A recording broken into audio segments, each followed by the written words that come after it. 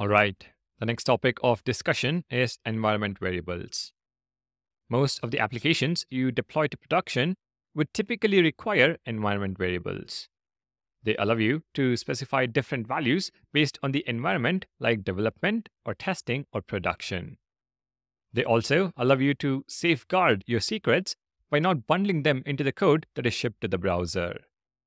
SvelteKit, being the awesome framework that it is, has built-in support for environment variables. Let's understand how to work with them in this video. To work with environment variables, we first need to create a new file in the project root folder. So within SK form actions, new file, and the file name is .env. This file is automatically git ignored.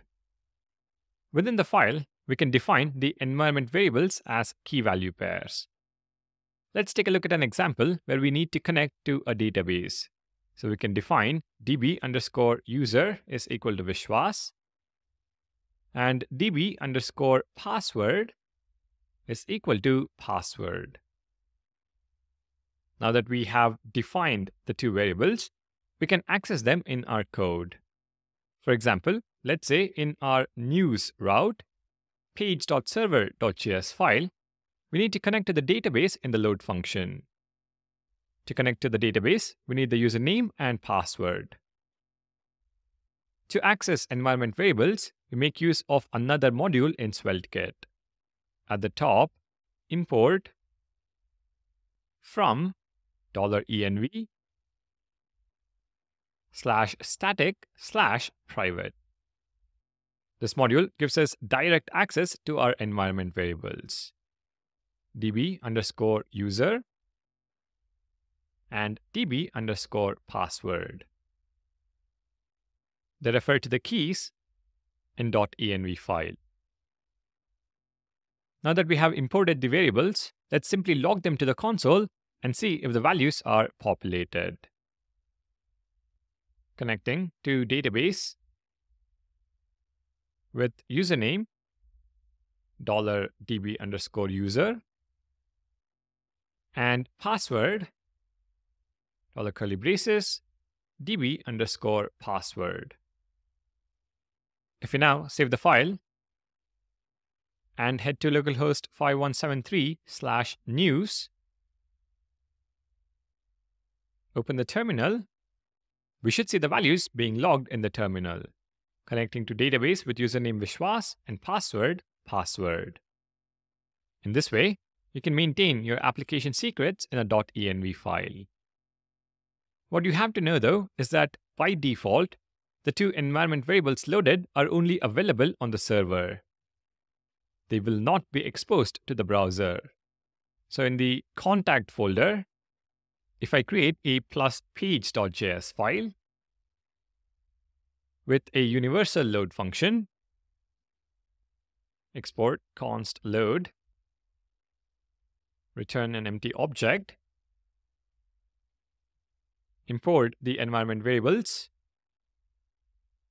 and add the same log statement,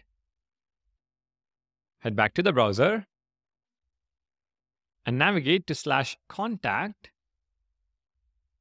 We see an error.